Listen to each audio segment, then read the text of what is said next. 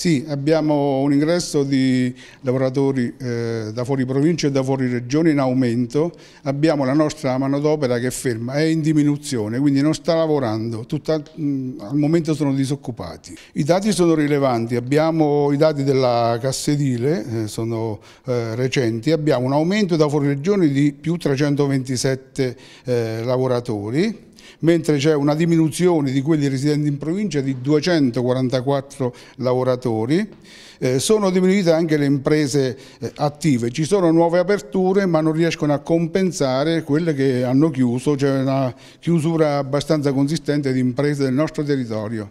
Succede perché purtroppo la scelta diciamo, degli appalti e dei subappalti è data ai committenti e quindi ci sono imprese che utilizzano subappaltatori che comunque vengono da fuori, che portano la loro manodopera, eh, ma resta ferma la nostra manodopera. Quindi vorrei fare un invito ai committenti e anche alle imprese locali per ricollocare i nostri lavoratori italiani e, stra e stranieri ormai stanziali da anni sul nostro territorio perché sono rimasti senza lavoro. Siamo nell'imminenza eh, di riprendere la ricostruzione istruzione e non vorremmo lasciare a casa tutte, tutto il nostro personale.